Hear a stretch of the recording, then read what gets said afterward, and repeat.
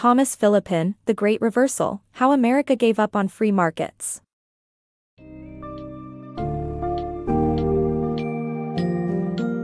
Welcome to the summary of The Great Reversal How America Gave Up on Free Markets by Thomas Philippon. Through this insightful book, we embark on a journey to explore the transformation of America's competitive market policies and the shift in market concentration. We will delve into the origins of the European Union and its strategies in handling competition and market policies. Throughout the summary, we investigate the effects of changing market practices in sectors like digital access, healthcare, air travel, and the financial and tech industries. The book reveals how a decline in antitrust enforcement and the rise of lobbying have contributed to a deterioration of competition in the United States compared to its European counterparts.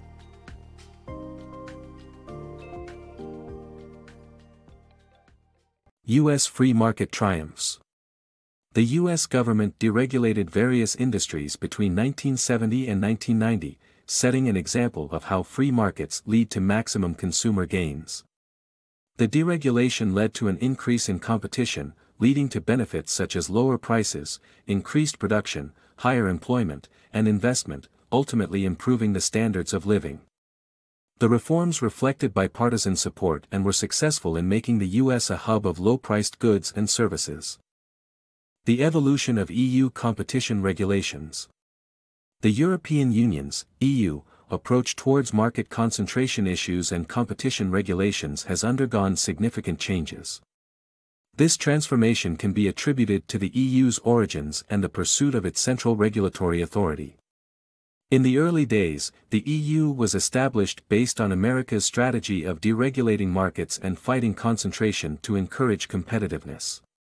Over time, the EU established robust and independent institutions to ensure that all member countries had an equal say in regulatory decisions. The EU paved the way for low trade and investment barriers and introduced unique rules to promote a level playing field. EU regulators are known for being tougher than their US counterparts when assessing market dominance resulting from mergers.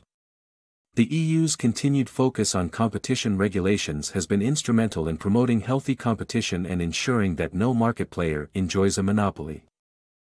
Concentration, the negative impact on the U.S. economy. The United States' lack of focus on competition has led to a decline in many markets, resulting in higher prices and limited choices for consumers. The pattern of mergers, entry and exit barriers, and greater markups due to market power has hurt U.S. consumers because of the lack of competition. The cost of digital access, medicines, and healthcare in America is higher than in other countries. The growing concentration in the airline industry resulted in less competition, higher prices, and patchy service levels. This rise in concentration has created market power arms race, which consistently benefits the executives while harming the consumers. Banking and Technology The financial sector should have reduced its percentage share of GDP due to technological advancement, but it didn't. Instead, technology enables faster trading connections and automated speculative trading. The EU has passed the General Data Protection Regulation, giving people ownership of their banking data, conveying stronger regulatory independence.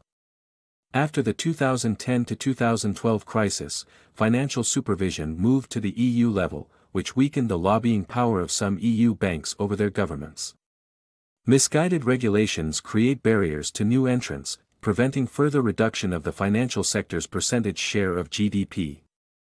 Tech giants and lobbying. Large tech companies are increasingly lobbying governments due to concerns around data protection and antitrust regulations.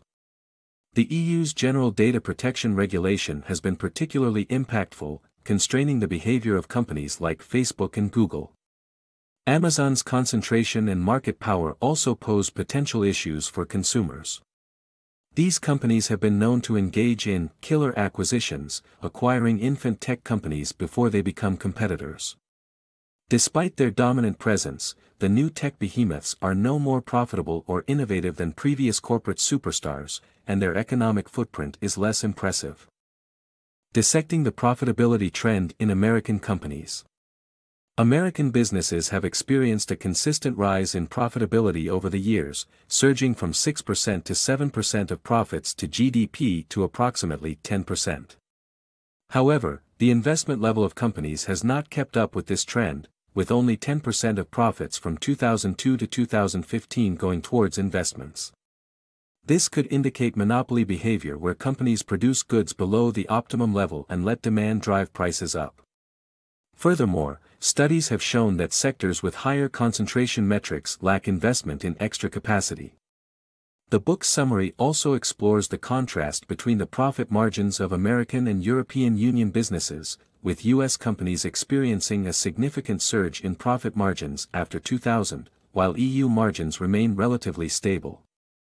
This trend is not due to superstar firms capturing markets by offering new goods or services, but rather from increased mergers and fewer new entrants. The decline in U.S. Federal Trade Commission antitrust actions and the number of listed companies point towards a concentration trend in America's business landscape. The dark side of lobbying. Lobbying in the USA may be linked to the deterioration of the competition's basic fabric in many domestic markets. The amount of money involved is unlimited, and attempts to reform lobbying face constitutional references to the First Amendment. Expert knowledge is no guarantee of success when it comes to lobbying, what counts most is money, contacts, and access. The power of competition. Competition is essential for a thriving free market economy. However, true competitive markets are fragile and require proactive authorities to maintain variety and diversity. Efficient and competitive markets are a common good that benefits everyone. Nevertheless, lobbying to spoil competition offers outsized rewards to a few, creating a concentration of losers. America has the potential to address its issues and regain its free markets.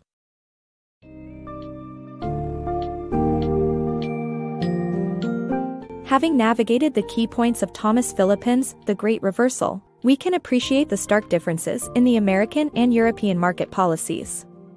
While Europe has maintained a strong stand against market concentration, adopting level playing field rules and embracing deregulation, the United States has gradually let its competitive edge erode. This stems from a rise in mergers, entry and exit barriers, increased lobbying efforts, and weaker regulatory enforcement. As a result, American markets have experienced a decline in fair competition, and consumers have faced negative consequences. By reflecting on America's current market situation, there is a chance to address the problems and restore the balance necessary for true competition and the common good.